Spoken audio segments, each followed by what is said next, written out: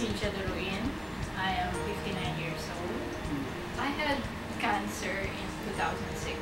Um, uh, during the time that I was being treated, I had developed complications in my liver, and then I was referred to a hepatologist, uh, hepatologist who told me that I had to get, she suspected that I was pre-diabetic, so she referred me to a diabetologist. So I had tests done, and it was very high. How is your diabetes now? Oh, it's normal.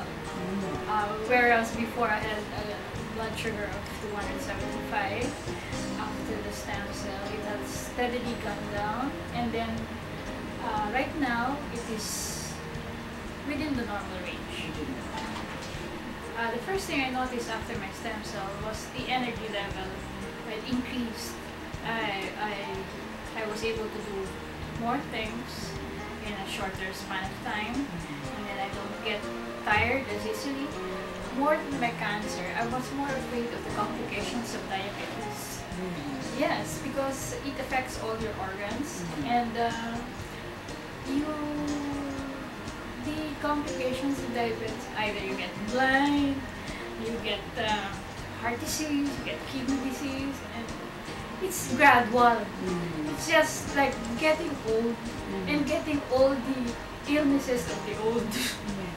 that's that that's why that now that I have normal blood sugars, I can rest easy mm. and enjoy myself.